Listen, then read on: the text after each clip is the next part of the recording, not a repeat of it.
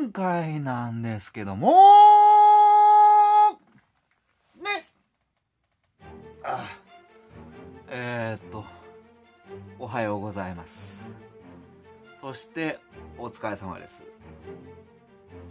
今回なんですけどもね、またよろしくお願い申し上げます。たくさんのコメント本当にありがとうございます。助かっております。うん。で、今回なんですけども、そう、ジージャンをね、ジージャン、デニムジャケットですか？私、今、過去の動画も、なんかボブソンの動画上げたでしょ？ね。そうそう思い出しました。ボブソンのね、ジージャン、えーデニムジャケット紹介した動画が過去にちょっとありましたよね。まあ、たちょっと立て続けに続きますが、今回はね、もう見てわかるでしょ？4つのボタン。ね。で、ドーナツボタン。ね。わかるでしょ？大好物でございます。対戦モデルの、ね。そう。対戦モデルのね。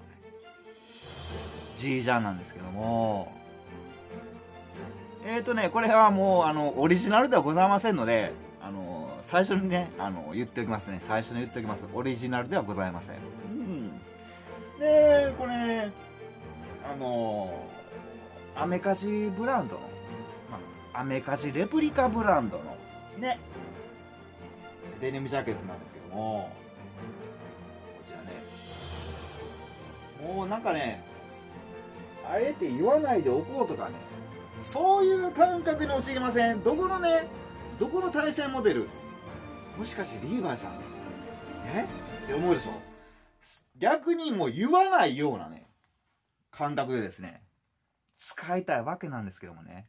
うん。対戦モデルの感じは、やっぱり対戦モデルらしいね。まあまあまあ、そこに近づけてる割には、うん、まあまあまあまあまあね。で、今回紹介するのは、対戦モデルの G ジャーなんですけどもね G ジャーなんですけどもリアルマッコイズさんのえそうなんですよ。ザ・リアルマッコイズ。マッコイのねリアルマッコイさんの対戦モデル。うん。もうデニムジャケットなんですよ。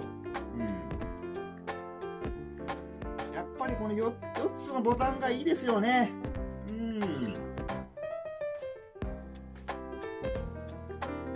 今回紹介していきたいと思うんですけど、えーまあ、ロットナンバーが S003J。S003、えーここ見ていただけたらわかるんですけども、ね。S003J の、まあ、サイズは38です。うん。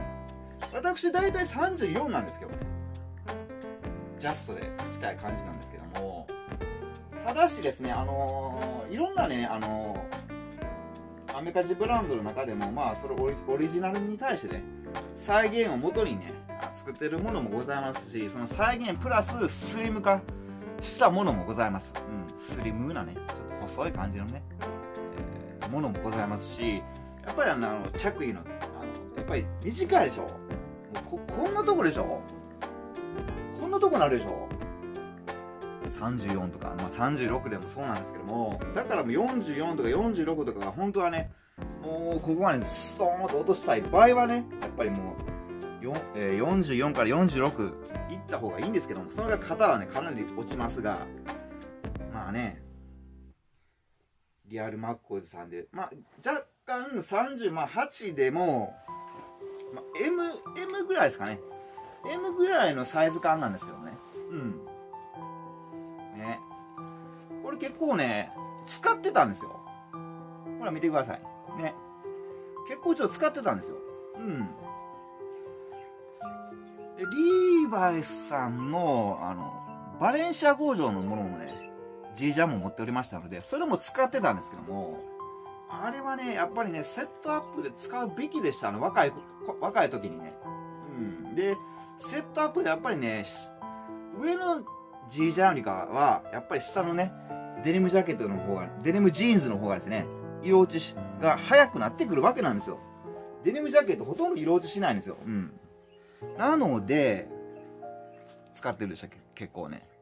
結構ダメージあるでしょ。ね。蜂の巣ですか？うん。で、話戻しますが、やっぱりじいちゃんはね、なかなか色落とすのがね、うーん、難しいので、使っていくにあたってね、使っていくにあたって色、色をどうやってね、まあ、選択すればね、まあ、落ちていくんですけども、もうストーンというようなね、落ちか、色落ちの仕方、あの、髭とかが全く出てきませんので、だからですね、結構着込んでから、結構着込んでからね、あの、選択するわけなんですけども、これはね、これは実はね、えっ、ー、とね、もう1年以上洗っておりません。そっから1回洗ったんですよ。1回水を通したわけなんです。ほんならもう出てきましたよ。バッキ、バキバキにね。で、ダメージも入っておりますが、この極端でしょ？こっちめっちゃ綺麗でしょ？めっちゃ綺麗で1回洗った、1年間使って1回洗ったら、出てきましたでしょ？そう。で、私ね、このジージャーもですね、この上からですね、えー、と色を落としたい、色を落としたい、育てていきたいというためにですね、この上からね、ジャケットを着てたわけなんですよ。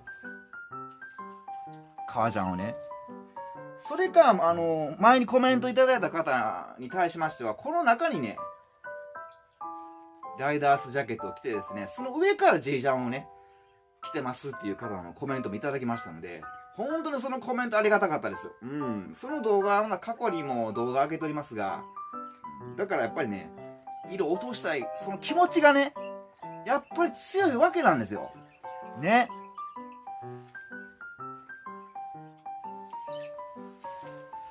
本当にあの、リアルマッコイズさんのものはですね、結構ね、買ったんですけども、フライトジャケットまで持って帰るのにね、ほんと車いりますよ、ジャケット買うのに。ものすごい大きい袋なんですよ。これ単車できたらもうまず無理だなって思うぐらいね、大きいんですよ。うん。まあまあ、それがまた楽しいんですけどね、その重みがね、また楽しいんですけどね。もうそのいいっぱいその袋持ってるんですけどもねうんねまあ。対戦モデルの、まあ、レプリカといたしましても、やっぱり、ね、気持ち的にね、その、逆にリアルマッコイズっていう名を言わずにね、もう何も言わずにね、軽くね、使ってあげるここそがね、なんかそれがね、逆にね、私はね、楽しい気分になれるわけなんですよ。うん。